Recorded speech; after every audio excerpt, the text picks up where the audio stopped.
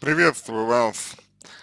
А, не знаю, заметили вы или нет, но а, говоря о том, что у вас есть вопрос, вы, собственно, не задаете вопрос. А, по крайней мере, я его на момент прочтения вашего текста не увидел. Я не увидел вопроса а, в вашем тексте. Вот просто увидел некоторое описание а, ситуации, в которой а, вы оказ оказались, и, соответственно, всё.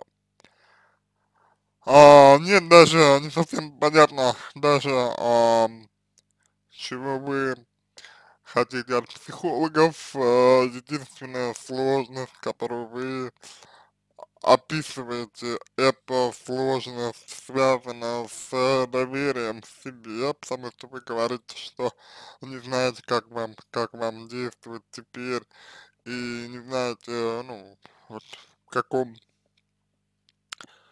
направлении, условно говоря, двигаться, то есть вы здесь а, по сути дела говорите про недоверие к себе, вы здесь говорите про то, что вам сложно опираться на себя в э, контексте э, принятия каких-то решений.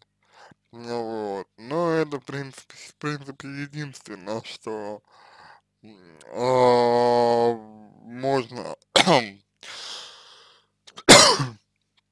назвать а, проблемой, да, да, единственное, что можно назвать запросом, а в остальном, в принципе, вы ничего больше не говорите. А, при этом, а, вот данное подвешенное состояние ваше, как мне кажется, а, вызывается, вызывается некоторыми вашими же взглядами, которые могут быть справедливы только для вас. И получается, что при наличии некоторого недоверия к себе и, может быть, при а, некотором страхе ответственности за свои поступки, может быть, страхе потерять а, вероятного партнера, вы имеете достаточно жесткие как мне кажется, э, достаточно жесткие эти внешние э, рамки, э, которые не пересматривают с вами, а которые, наоборот, как мне кажется, создают ощущение клетки для вас. Что касается э, ситуации в целом, то я вот когда э, читал ваш текст, а, подумал почему-то о вине, что так себя ведет а, человек, а, чувству, чувствующий вину и страх, и страх. То есть сперва я тебя задарю подарками, чтобы ты не чувствовал себя там обделенный, использованный и прочее, а потом я от тебя уйду, потому, потому что я чувствую себя виноват, ну или, или как-то так. Ну, вот, то есть вы говорите о том, что он ведет себя так, как будто вы в отношениях, не знаю, э, с точки зрения моего опыта нет, человек ведет себя как раз таки так, как будто бы вы не в отношениях, и он эм, противится дальнейшему сближению. То, что вы говорите про ускоренность, отношения, про вероятность измены и прочее, да, здесь возможно. То есть, возможно, если вы сейчас пойдете на свидание, это может, конечно, молодым человеком э, интерпретироваться как измена, это правда. Правда, только в том случае, если, если он э, не настроен на отношения с вами, потому что если он настроен, то он прекрасно понимает, что э, ждать вы его вечность не будете, а тут вот э, такое ощущение, что вы должны его, должны его ждать. Да, получается, что не очень, не очень как бы хорошо для вас. Вот. Поэтому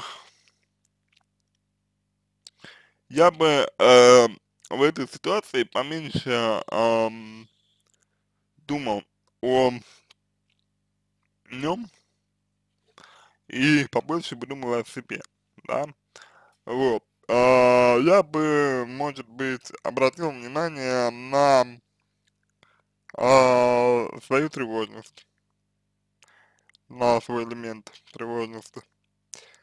Я бы обратил э, внимание на неуверенность в себе, я бы обратил внимание на значение, на значение партнера и отношений, на значение интимной сферы, сферы интимных отношений тоже. Вот. И, и э, вот как-то уже из этого исходя, э, строил бы дальнейшую модель своего поведения, поведения потому что э, когда человеку сложно себе доверять, или когда человек вообще себе не доверяет по, ну, как, как, каким-то причинам, вот, неважно сейчас, каким причинам. А, сложно достаточно соблюдать личные границы, вот, сложно. И, как мне кажется, сложно делать это вам.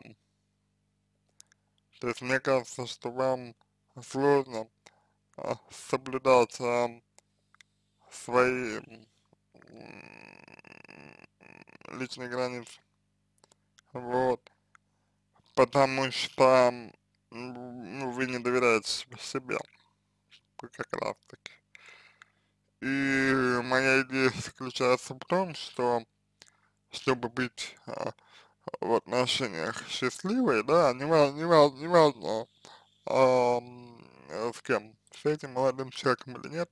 Кстати, о каких отношениях идет речь, если вы а, говорите, что вообще о нем ничего не знаете. То есть, по сути, это а, на данный момент случайный для вас, случайный для вас знакомый.